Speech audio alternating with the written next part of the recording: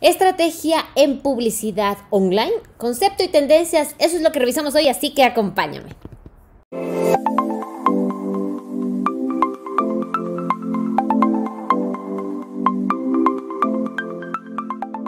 Emprendedores en el mundo digital 612. Hola, hola, ¿qué tal? Nuevamente bienvenidos al podcast, al programa de emprendedores en el mundo digital. Ya saben, el podcast en, los que, en lo que nos apasionamos por hacer las cosas que nos gustan, ¿no es cierto? Promocionar nuestros productos, nuestros servicios, ya seamos profesionales, pymes o grandes empresas. Pues estamos aquí para eh, vivir de lo que nos apasiona, ¿no es cierto? Y pues nada, hoy estamos un martes más, martes 26 de enero del 2021.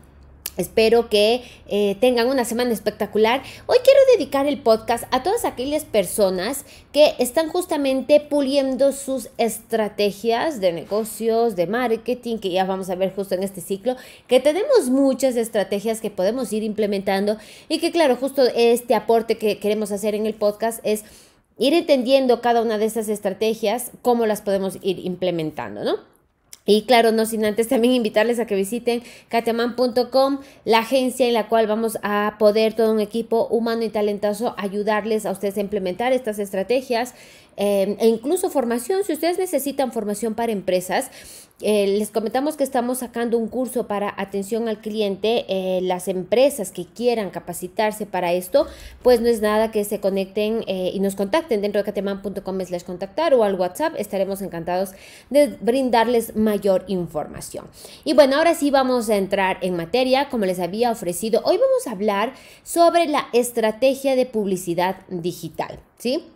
Este es una de las estrategias más una de las más utilizadas, digámoslo así, porque claro, habíamos arrancado con la estrategia de contenidos, si se recuerdan, em, y también eh, que era súper importante generar unos buenos contenidos, estar presentes en redes, pero claro, hay un contexto y es que este contenido orgánico comienza a saturarse, ¿sí? Entonces puede ser que la publicidad de pago sea la forma más eficiente, eficaz que puedas tener para que tu contenido puntual llegue a las personas correctas y te des a conocer, ¿no es cierto?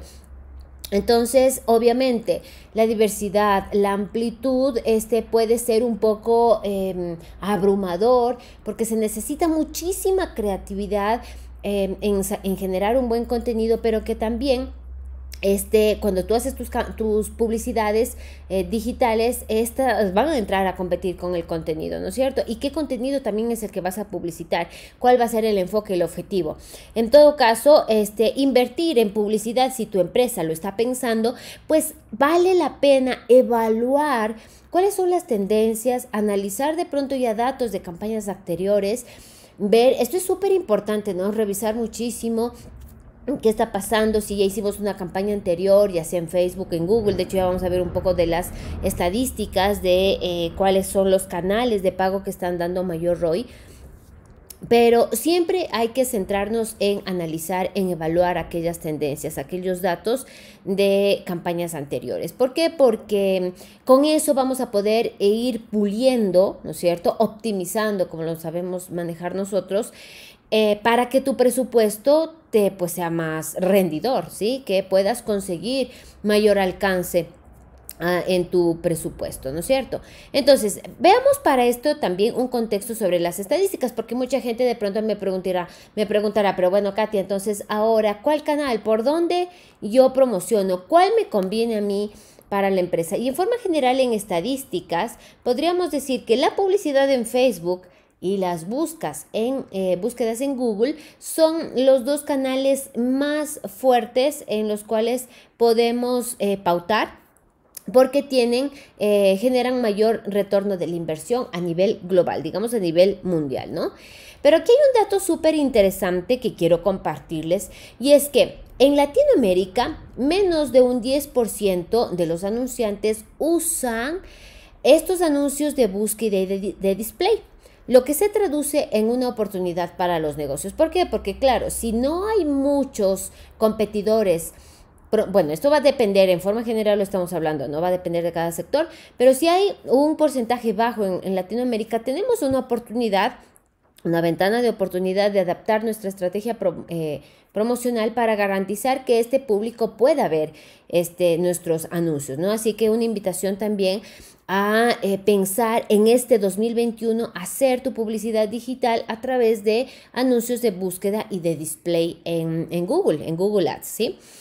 Entonces, bueno, otra cosa que también debemos tomar en cuenta es que adaptar esta estrategia promocional este, para garantizar que cada público vea eh, los anuncios más relevantes en su caso. Es decir, va muy de la mano con la personalización eh, del contenido y enfocado a ese nicho que realmente le va a impactar ese contenido en particular. ¿sí? Y sobre todo, tomar en cuenta que la clave está en medir el valor y el ROI de las campañas en mayor detalle, ¿sí? Y por ejemplo, pues así en forma general podríamos hacernos estos cuestionamientos. Ah, en mi empresa, pues va a invertir 500 dólares para, o, generó, o invirtió 500 dólares y consiguió 100 clics. Y con estos 100 clics se hicieron 20 conversiones. Pueden ser, este, mm, que, y esta, esta información nos da cada plataforma, ¿no? Estas 20 conversiones Em, fueron o conversaciones eh, o visitas a la página o potenciales clientes, en fin, lo que sea. Y después de haber hecho estos o haber trabajado estos cinco eh, potenciales clientes, resultó que conseguimos cinco compras, ¿ya? Entonces, a la larga, por estas cinco compras de X valor de ingreso o valor permanente, que ya debemos de pronto esa información manejarla ahí en nuestro CRM, eh, darnos cuenta efectivamente estos 500 dólares cuánto fue la tasa de conversión ya en ventas y el ROI como tal. O sea, yo invertí 500 dólares pero conseguí 5 ventas de 1000 dólares, por ejemplo. ¿Sí? Entonces ahí es, es importante validar estas campañas, tomar en cuenta todo esto para ver a futuro, como les decía, validar estos datos irlos optimizando para ver si de pronto hay que revisar mucho en las campañas, ¿no? Como decíamos al inicio, las creatividades, la segmentación, el copy, eh, de pronto hasta la estrategia de puja todo eso, eh, incluso las ubicaciones, en qué parte de las ubicaciones hablemos de Facebook, si de pronto está pegando más Facebook e Instagram, entonces comenzar a eliminar, o ahí nosotros pusimos un rango de edad de X, de pongamos de 25 a 50, pero nos damos cuenta que el 80% está en, en digamos de, de, 30 a 45, pues ir optimizando estas campañas para conseguir justamente que el ROI sea más, eh, más alto, ¿no?